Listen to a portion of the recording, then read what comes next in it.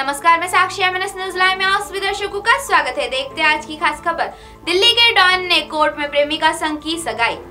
20 से ज़्यादा हत्या का आरोप है। गैंगस्टर अनिल दुजाना ने अपनी प्रेमिका से 15 फरवरी को सगाई की।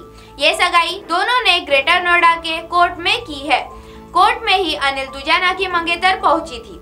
कोर्ट रूम में खड़े होकर अनिल दुजाना ने पहले हार और अंगूठी पहनाकर रस्म पूरी की। अभी तक सिर्फ़ फ़िल्मों में ही ऐसा देखा होगा।